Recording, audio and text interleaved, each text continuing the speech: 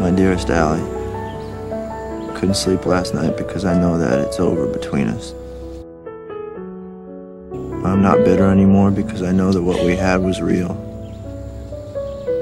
And if in some distant place in the future we see each other in our new lives, I'll smile at you with joy and remember how we spent a summer beneath the trees, learning from each other and growing in love.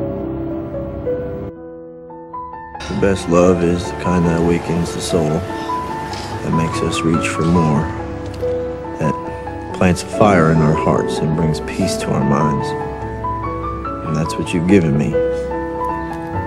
That's what I'd hope to give to you forever.